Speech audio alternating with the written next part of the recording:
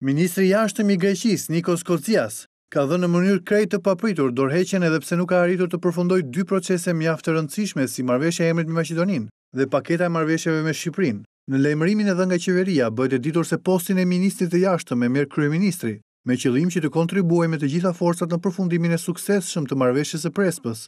Arsyeja e dorëheqjes së Kotzias lidhet me një përplasje me ministrin e Mbrojtjes Panos Kamenos, të martën, Gjatë mbledhjes së Qeverisë, lidhur me çështjen e emrit të Maqedonisë, media citojnë Kociasin të ketë thënë se deklaratat e kolegut të tij diskreditojnë vendin dhe minojnë linjën që ka vendosur qeveria greke për kontekstin me Maqedoninë. Mediat gjithashtu citojnë ministrin e Mbrojtjes të jetë kundërpërgjigjur duke e akuzuar Kociasin si njeri të Sorosit dhe që është i zhytur në fondet e Ministrisë së Jashtme, duke aluduar për korrupsion. Aludimet se ka patur një përplasje u shtuan edhe pas një postimi të vetë Kocias në Twitter, ku ai shkruante, Momenti vjen, shkruan poeti, për të vendosur se kush rri dhe kush ikën.